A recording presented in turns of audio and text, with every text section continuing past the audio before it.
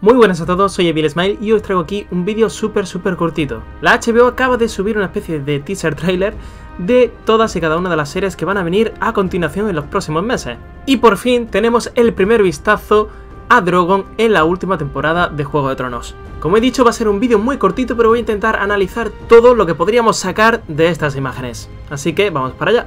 En primer lugar, evidentemente estas imágenes corresponderían al primer episodio de la octava temporada, en la llegada de Daenerys Targaryen y su séquito a Invernalia, Winterfell, donde sería recibida posteriormente por Sansa Stark, tal y como vimos en esa especie de teaser sacado hace ya unas semanas atrás. A continuación vamos a ir frame por frame analizando todo lo que vemos en estas imágenes. En primer lugar, lo que más me llama la atención es el tamaño de Drogon, el cual no ha cambiado ni una pizca desde que lo vimos en el séptimo capítulo de la séptima temporada.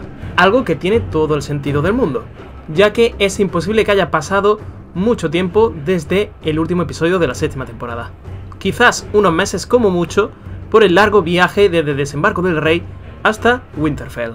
A continuación vemos esa marcha de los Inmaculados, este ejército profesional que ya vimos en acción finalmente en la temporada anterior y el cual si nos fijamos bien ya está ataviado y preparado para el invierno. Y lo mismo ocurre con los dos Dothraki que vemos cabalgando a su lado. Parecen llevar una especie de armadura de cuero, ya que como entenderéis, los Dothraki necesitan una mayor agilidad y movilidad en el combate que les permita combatir a caballo, y por ello no usan armadura pesada.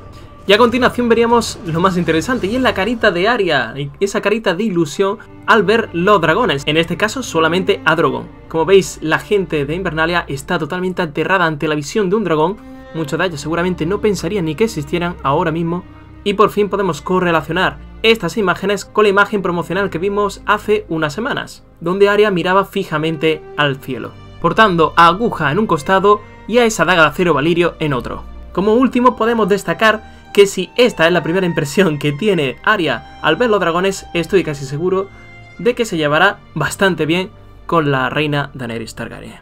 Y de momento yo no puedo sacar más información. Espero que os haya gustado este vídeo express. Yo creo sinceramente que en las dos próximas semanas, antes de esta conferencia que tenemos en Madrid, los Reyes de Poniente junto a Freaky Doctor y Javi Marcos, creo sinceramente que va a aparecer un nuevo tráiler. Así que agarraos bien, porque de verdad que vienen momentos muy emocionantes. Y hasta aquí el vídeo de hoy, espero que os haya gustado esta información que os traigo en primicia si ha sido así, por favor, dale al botón de me gusta de aquí abajo que me ayudáis muchísimo. Suscribiros si no lo estáis para estar siempre a la última en cuanto a Juego de Tronos se refiere.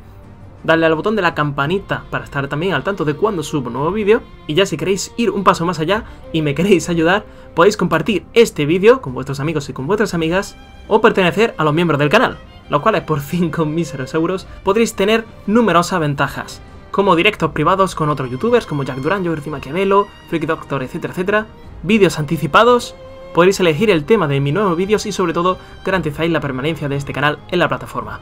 Con esto me despido y ya nos vemos en el siguiente vídeo. Hasta la próxima, chao.